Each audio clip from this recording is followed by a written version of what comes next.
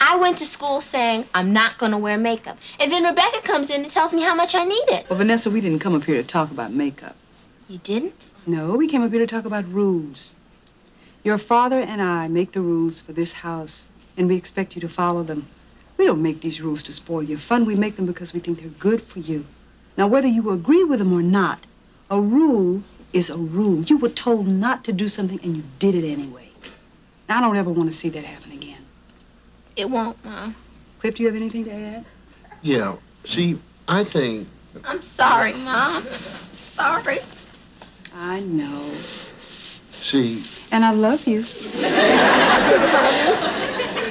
but you're grounded for a year. A year? I'll settle for a week. and that's all I have to say.